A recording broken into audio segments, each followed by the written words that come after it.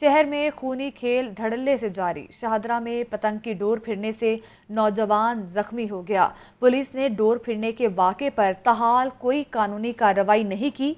तीन माह में डोर फिरने से पंद्रह शहरी जख्मी हो चुके हैं।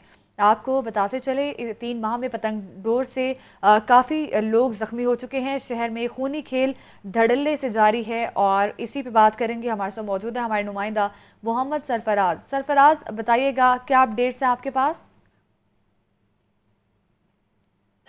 जी बिल्कुल, पिछले जो रवा साल है, उसमें पंद्रह जो बच्चे मसूम हैं और शहरी हैं, वो जख्मी हो चुके हैं। सी सी लाहौर की जानी से ऐलान ही किया गया था। और डिवीज़न अफसरान को हदायत जारी की गई थी कि जहाँ पे पतंग की डोर फिरने से कोई जख्मी होता है एस एच ओ के खिलाफ कोई कानूनी कार्रवाई अमल में लाई जाए। तो अभी तक जो शादरा में ये वाक़ हुआ है। अभी तक तो एस एच ओ के खिलाफ भी कानूनी कार्रवाई अमल में नहीं लाई गई। ना ही पुलिस की जानब से जो जख्मी है, उसके बयान के मुताबिक जो है एफ़ आई आर दर्ज की गई है।